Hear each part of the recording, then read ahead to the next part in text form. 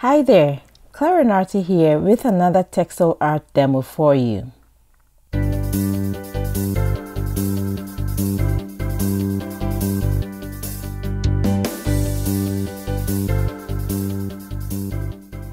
In this episode, I'm going to color the piece that I created in the last episode.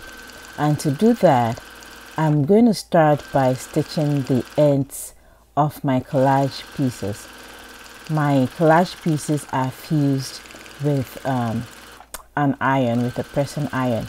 But as you can see, some of the ends are not completely fused to my background fabric.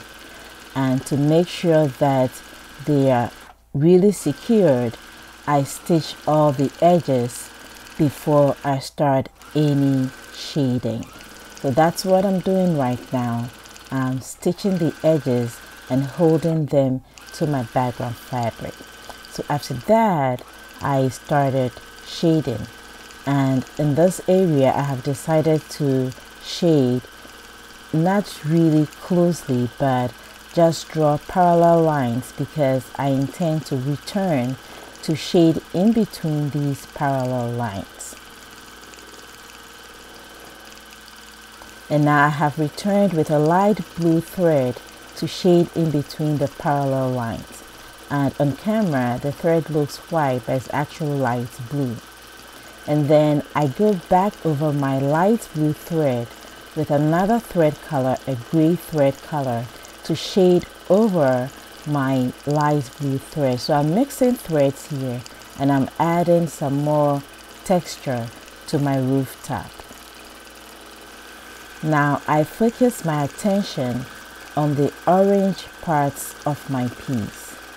Here I have chosen an orange thread that closely matches the fabric underneath and I'm shading very close together. My stitches are so close together that when I'm done with this area, you are not going to see the fabric, but you see more of the thread.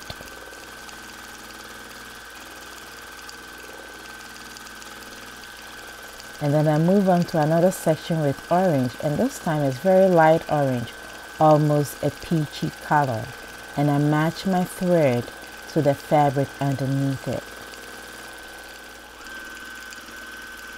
and let's move on to the windows. For the windows, I decided to do simple line drawings. I'm not going to color the windows with either thread or fabric. I'm just going to use line drawings to um, outline my windows. And to do that, I drew using um, erasable markers on top of my work. And then I'm tracing the drawing that I did with erasable markers with my sewing machine. And tracing is always very slow.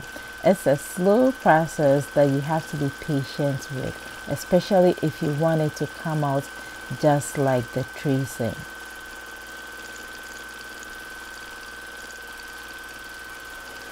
And here I go back to shading and this is the door and I want to add a shadow to the door and as you can see shaded is way faster than tracing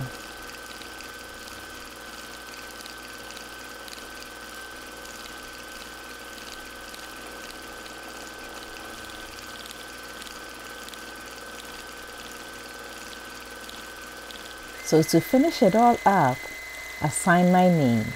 And signing my name is also a very slow process, slow and patient. And now here you have it. Here's a detailed view and another detailed view of the stitches. And here's the overall piece. Stacked houses number two. If you like this video, like it, subscribe to my channel and share.